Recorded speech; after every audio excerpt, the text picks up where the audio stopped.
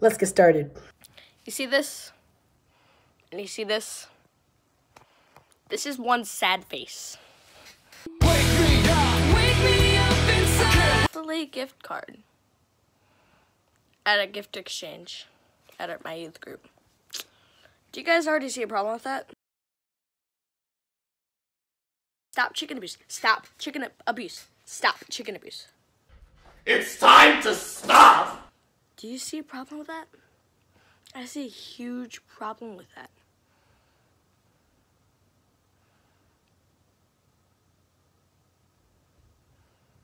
I'm not getting chicken with this.